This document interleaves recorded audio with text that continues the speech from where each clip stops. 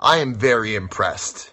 Bobby Schink, I just watched your wrestling promo and so impressive. I don't know what's I'm trying to I'm trying to figure out what's so impressive about you. Is it is the fact that your name is Big Bobby Schink and you're about six foot seven and weigh about 190 pounds, or maybe it's the fact that you're from the Storm Wrestling Academy. Uh, well, there's a lot of good wrestlers there, but there's a few that suck. Maybe it's the amount of time it takes you to do your hair and how many times you look at your script before you cut a wrestling promo. Or maybe it's the fact you talk about being the king of Transcona and making all the residents of Transcona kiss your wrestling boot.